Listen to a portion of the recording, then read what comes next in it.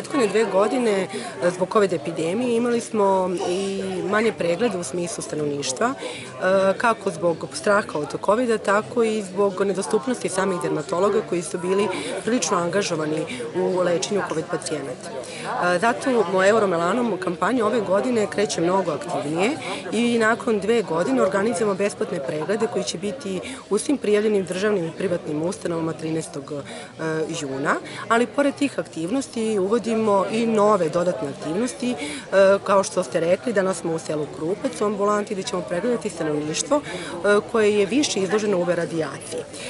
Bez knjižice, bez uputa, obavit ćemo preventivne preglede, znači čitave kože svakog pojedinca i na ovaj način želimo da skrenemo pažnju koliko je i sam dermoskopski pregled jednostavan, bezbolan, a može spasiti život. Zašto? Zato što omogućava vizualizaciju nekih struktura koje ne možemo vidjeti golim okom i moj lična zapravo cilj jeste kao potpredsjednika udruženja nacionalnog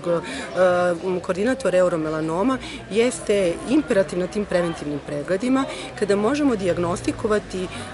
sumnjive promene i karcinome u najranijem stadijumu, kada nisu vidljivi golim okom, kada nemamo neke propratne simptome u smislu krvarenja, svraba i ostalih znači, promena, nego kada vidimo najdiskretnije promene gde jednostavnom hiruškom intervencijom mi smo spasili život i tu se dalja terapija završava. Znamo ukoliko se postavi diagnoza kasnije, da melanom vrlo rano daje limfogene i hematogene metastaze i onda je ta terapija naravno mnogo teža i prognoza mnogo lošija, mada i u tom aspektu imamo sada već inovativnu terapiju. S obzirom da se melanom u 90% slučajeva nalazi na koži, znači dostupan je pogledu, odnosno pregledu, upravo znači, je imperativ na tim preventivnim pregledima, ne samo tokom današnjeg dana, nego znači, i tokom godine. Pored aktivnosti ovaj, pregleda stanovništva u Krupcu, imaćemo aktivnosti u smislu pregleda stanovništva na Zatiborskom okrugu, Gračanici i Sremskoj Mitrovici i nastavit ćemo aktivnosti od prošle godine, a to je edukacije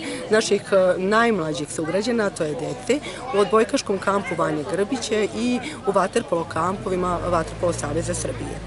Euromelanum kampanja kao i svake godine i ove godine je dobila podršku Ministarstva zdravlja, a od prošle godine ima podršku Ministarstva omladine i sporta.